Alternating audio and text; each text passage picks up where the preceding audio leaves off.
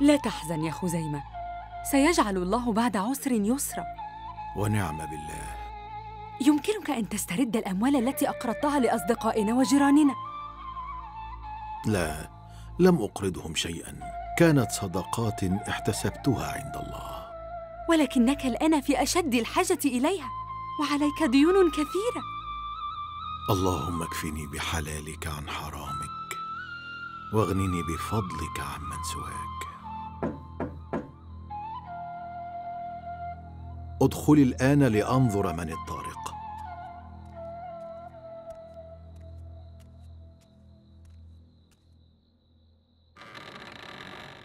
السلام عليكم. وعليكم السلام ورحمة الله وبركاته. من أنت؟ فاعل خير. جئت أساعدك في محنتك كما ساعدت آخرين في محنهم. تفضل. ما هذا؟ بعض المال. تسدد به ديونك.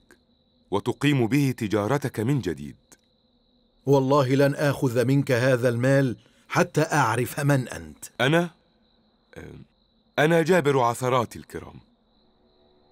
جابر عثرات الكرام؟ نعم ألست في عثرة؟ وأنت من أكرم الكرام في المدينة؟ أنا جئت لأجبر عثرتك وأجبر بخاطرك. تفضل.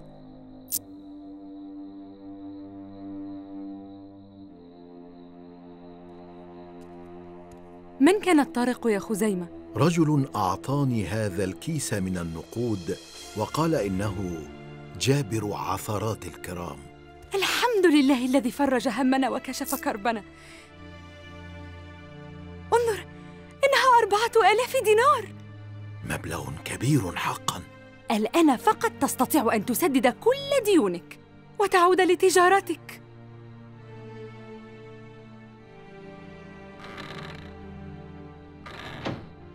الحمد لله الذي أعانني على فعل الخير. أين كنت يا عكرمة؟ بثينة ظننتك نائمة. كنت في انتظارك. عكرمة الفياض والي جزيرة العرب كلها لا يخرج من بيته في منتصف الليل إلا لأمر مهم. نعم أمر مهم ولن أستطيع أن أخبرك به. أستطيع أن أتوقعه. النساء يا عكرمة. أستغفر الله العظيم. أما زلت تغارين علي يا بثينة؟ قل لي أين كنت وأنا أمتنع عن الغيرة فوراً. والله ما أنزلني إلا أمر خير. أردت أن أحتفظ به لنفسي حتى يكون خالصا لوجه الله. سأحتفظ به معك ولكن لابد أن أعرفه. لا حول ولا قوة إلا بالله. تكلم يا عكرمة. أنت تعرف أنني لن أستريح حتى أعرف كل شيء أعرف يا بثينة لقد جئت الآن من عند خزيمة بن بشر خزيمة؟ وماذا كنت تفعل عنده في هذه الساعة المتأخرة؟ حكى عكرمة لزوجته بثينة عن المال الذي أعطاه لخزيمة وطلب منها ألا تبوح لأحد بهذا السر أبداً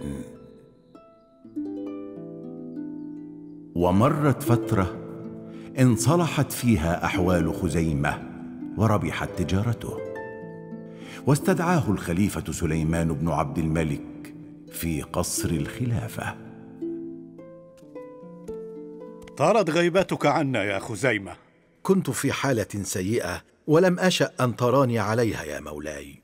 وكيف لم تات لطلب المساعدة؟ منعني حيائي عن ذلك والحمد لله الذي جعل من بعد عسر يسرا. وعلى يد من جاءك هذا اليسر؟ رجل لم يشأ أن يبوح باسمه جاءني ملثما في نصف الليل وقال إنه جابر عثرات الكرام. جابر عثرات الكرام؟ لقد تردد هذا الاسم كثيرا هذه الأيام. أسمعت عنه يا مولاي؟ وتمنيت لو أني عرفته والتقيت به لأشكره على ما يقدمه من فعل الخير مع كل الناس. أنا أيضا ما زلت أبحث عنه حتى الآن. إذا عثرت عليه فأتني به فورا. سمعا وطاعة يا مولاي. المهم لقد دعوتك الآن لأعينك واليا على جزيرة العرب. أنا يا مولاي. أنت لها يا خزيمة بما عرفناه عنك من طيب الأخلاق وحسن العمل والإخلاص. والوالي الحالي عكرمة الفياض. تذهب إليه الآن وتستلم منه الولاية وبيت المال.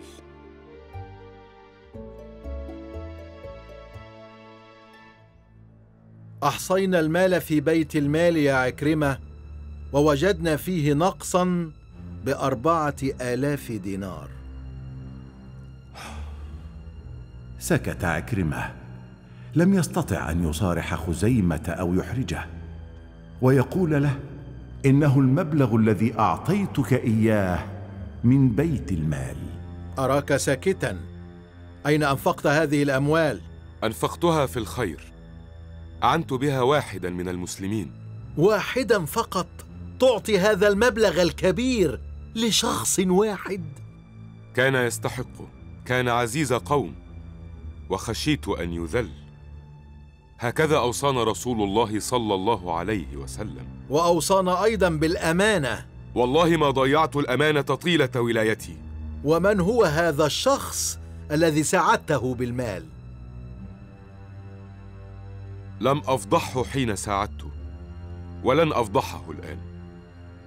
ولماذا لم تعطه من مالك الخاص؟ لم يكن معي هذا المبلغ الكبير وكان الرجل في حاجة إليه. اذا عليك أن تعيد هذه النقود فورا إلى بيت المال.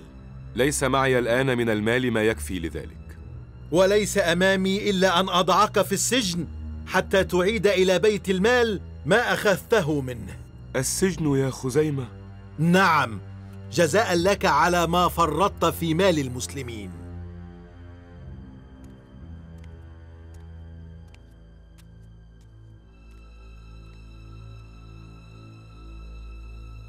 سجنت عكرمة الفياض؟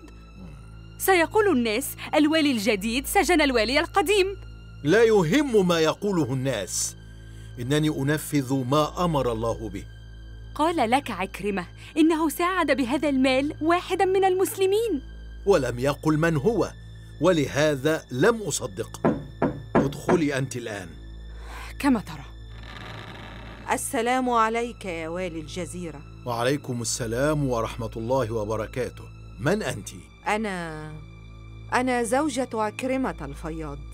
وجئت الآن لتعاتبيني في سجن زوجك. لا جئت أسأل سؤالا واحدا. أهكذا تفعل بجابر عثرات الكرام؟ جابر عثرات الكرام؟ نعم. الرجل الذي جاءك في منتصف الليل وأعطاك الأربعة آلاف دينار. وكيف عرفت بهذه القصة؟ لأنه لم يحدث بها أحدا غيري. من هو؟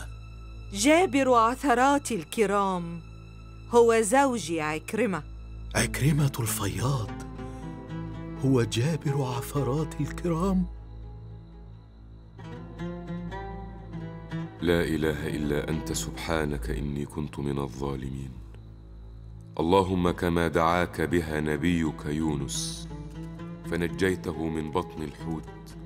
اللهم نجني بها من سجني هذا. عكرمة سيدي خزيمة؟ بل أنت سيدي يا عكرمة. سامحني على ما فعلته بك. وما الذي دفعك إلى أن تأتي الآن وتطلب مني السماح؟ عرفت أنك جابر عثرات الكرام. أنا الذي أحسنت إلي فأسأت إليك. تعال معي الآن. إلى أين؟ تغتسل وترتدي أفضل الثياب. ثم نرحل غدا إلى الخليفة سليمان. لقد طلب مني أن آتيه بك فور عثوري عليك. يا عكرمة ما ظننت ابدا أنك أنت جابر عثرات الكرام. والله يا مولاي ما كنت تاركها لغيري. كنت والي القوم والمسؤول عن حل مشكلاتهم وجبر عثراتهم. يبدو أنني أخطأت عندما أبعدتك عن الولاية. عفوا ما أخطأت يا مولاي. لقد وليت من هو أفضل مني. بل أنت الأفضل يا عكرمة وأرى يا مولاي أن تعيده إلى ولاية جزيرة العرب. لن تجد من هو أخلص ولا أكفأ منه. نعم وليتك على الجزيرة مرة أخرى يا عكرمة وتركت لك شأن خزيمة. إن شئت عمل تحت إمرتك وأعانك على شؤونها. بالطبع يا مولاي فهو نعم المساعد والمعين. من يومها عمل خزيمة وعكرمة جنبا إلى جنب في ولاية جزيرة العرب. فكانت أفضل سنوات الخلافة في عهد سليمان بن عبد الملك.